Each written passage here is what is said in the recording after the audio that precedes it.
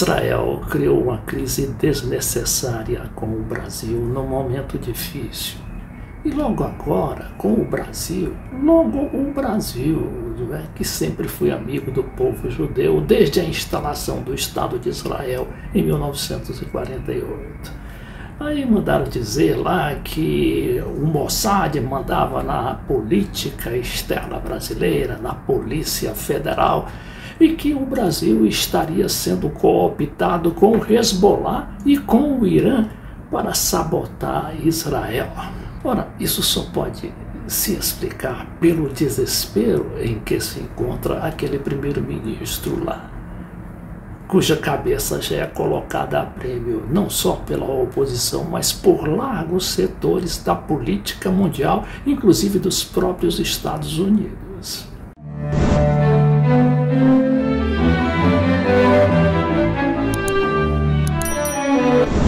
Antes que a gente comece esse vídeo, né, é, gostaríamos de dizer que a TV, a, o canal CNN de notícias, CNN Brasil, anunciou que finalmente os brasileiros receberam autorização né, para deixar a faixa de Gaza, os 34 brasileiros.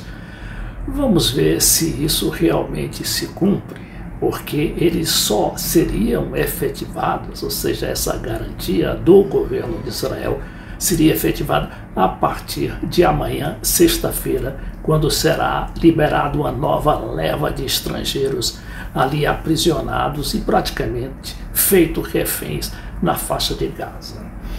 E agora a gente vê aqui é, esse material da Folha dizendo que, em resposta ao premier de Israel, Dino, que é o nosso ministro da Justiça, né, diz que nenhuma força estrangeira manda na PF, ou seja, na nossa Polícia Federal.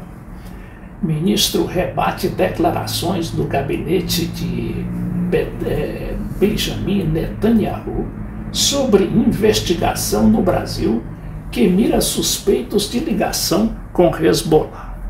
Essa questão aqui dessas, da prisão desses brasileiros, ou brasileiros, cidadãos brasileiros com dupla nacionalidade, né, libaneses, inclusive, isso está muito mal explicado. E o governo não quis entrar nessa onda de Israel para já dizer que os caras são terroristas e terroristas financiados pelo Hamas, ou pelo Hezbollah, ou pelo governo do Irã.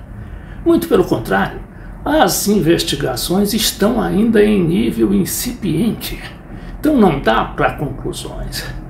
Inventaram, inclusive, ou chegaram a dizer né, que tinham descoberto né, 5 mil dólares na casa de um e alguns celulares. Mas isso não constitui prova, né, porque todo mundo tem, né, esse pessoal que viaja constantemente pelo exterior, tem geralmente dinheiro no bolso. Isso não quer significar nada. E os celulares também não foi explicado.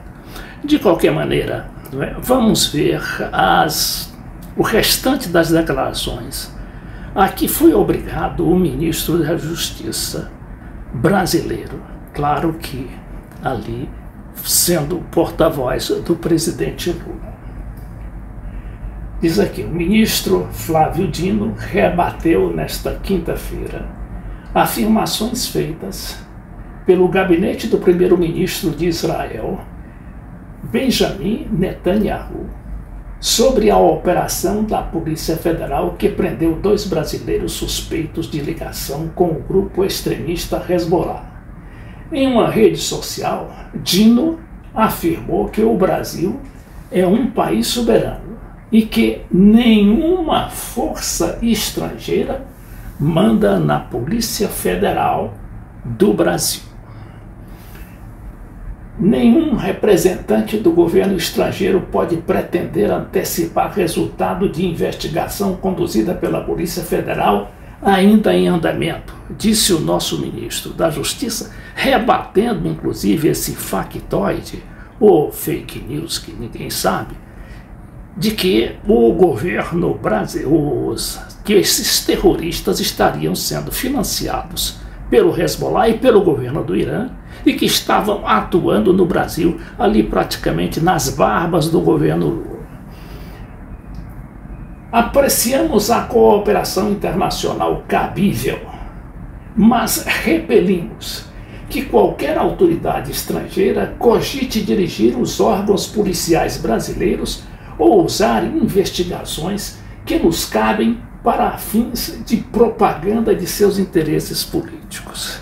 Na verdade, durante todo o dia de ontem, o governo de Israel, através de seu embaixador aqui no Brasil, é, entrou numa faixa ali, numa fase de colisão com o governo brasileiro. Primeiro, né, dando declarações é, todo mundo sabia não ser verdadeiras, de que Israel não estava é, retendo os, os 34 brasileiros ali na faixa de Gaza. Segundo, o embaixador né, teve ali o desplante de ir a um encontro de bolsonaristas e extremistas da direita no Congresso Nacional, acompanhado do Bolsonaro, ou seja, esse embaixador brasileiro, é? ele estava ali justamente acompanhado de Bolsonaro. É? Para que aquela provocação ao governo brasileiro? Bom, mas isso aí são tempos que a gente não entende, é? Ou pode ser também um gesto de desespero do próprio Netanyahu, que talvez esteja ali nos dias finais de seu governo. Tal é a pressão, não só aqui do Brasil, que não é quase nada, mas dos Estados Unidos e da oposição interna lá do Estado de Israel. A Polícia Federal deflagrou uma operação nesta quarta-feira para prevenir atos terroristas no país. De acordo com a apuração que deu origem à ação, atos preparatórios estavam em andamento para ataques a prédios da comunidade judaica no Brasil. Isso tudo aqui é especulação, porque a Polícia Federal não se pronunciou nesse sentido, ou se se pronunciou foi alguma fonte, não é? da Polícia Federal Brasileira ou então do próprio Mossad, que está ali muito atento, né? e também distribuindo as suas próprias, seus próprios factoides. Segundo informações, olha aí, nunca diz de, que, de onde vem a fonte, às quais a Folha teve acesso. Dois homens envolvidos no caso já foram presos no Brasil. Outros dois que estariam no Líbano tiveram seus nomes incluídos na difusão vermelha da Interpol, o canal de foragidos da Polícia Internacional. Os quatro têm nacionalidade brasileira. A polícia cumpriu 11 mandatos de busca e apreensão em Minas Gerais, São Paulo e no Distrito Federal.